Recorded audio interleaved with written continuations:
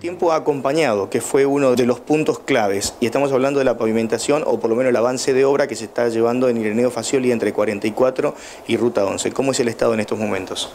Bueno, es una obra que, avanza, se terminó ya con la base, con la, tirada del RDC, lo que todo el mundo creía que era la pavimentación, pero que en realidad no es así.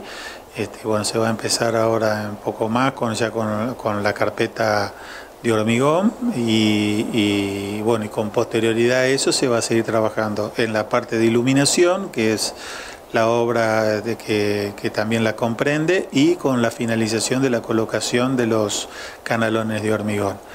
Es una obra que estuvo afectada por la emergencia hídrica, así que nosotros hicimos un, este, este, este, un corte en el plazo de obra, se cerró y se volvió a abrir dando nuevo plazo de obra, al cual la empresa obviamente está condicionada a cumplir, digamos, ¿no? Pero mientras el tiempo acompañe se puede trabajar bien y es una obra bastante rápida para hacer.